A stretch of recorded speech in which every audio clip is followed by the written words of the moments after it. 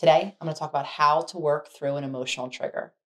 You'll know you're triggered when you feel yourself emotionally activated. It's often an intense feeling that comes seemingly out of nowhere.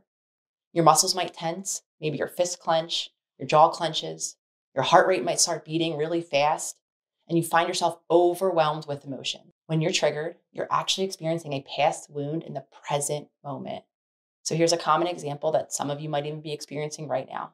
You go home and your mom makes a comment about how you look. You feel anger surging through your body. You end up screaming and yelling something you don't mean. And then afterward, you feel really shameful and you numb out by scrolling on social media.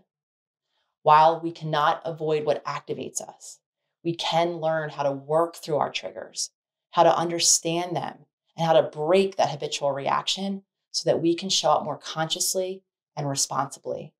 Here's what a typical unconscious trigger cycle looks like you have your trigger, your mom's comment, you have your emotional reaction, all of that anger surging through your body, and then the screaming and yelling that you end up doing.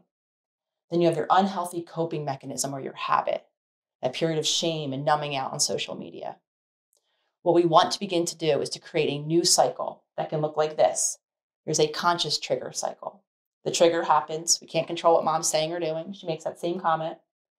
In this instance, we pause instead of habitually reacting. We maybe take a few deep breaths. If we notice ourselves beginning to activate, we might say, okay, you're having a trigger and let yourself feel whatever it is that comes up. Here, you're just going to breathe. Let all of that energy race through your body. And instead of typically having that habitual reaction, lashing out or shutting down, you're going to rewire your response, calming your body's nervous system by pausing and breathing.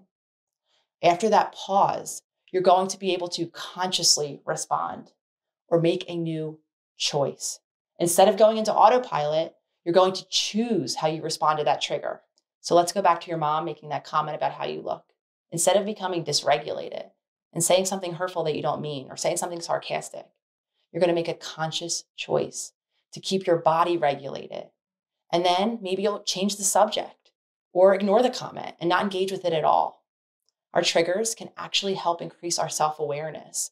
So, after you've experienced one, instead of shaming or judging yourself, take a moment to explore why you got so activated, became so dysregulated, or so upset.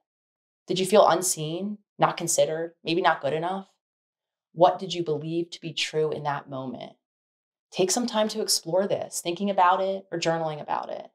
And if you've tuned into this, you're ahead of most people because a majority of people don't understand their triggers at all. And it's by understanding what causes us to become emotionally dysregulated, often saying or doing hurtful things or pushing others away, that we can become better partners, better friends.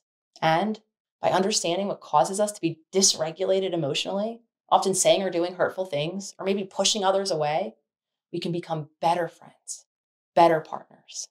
I hope this video is helpful. Leave a comment and let me know if you're working on your own triggers.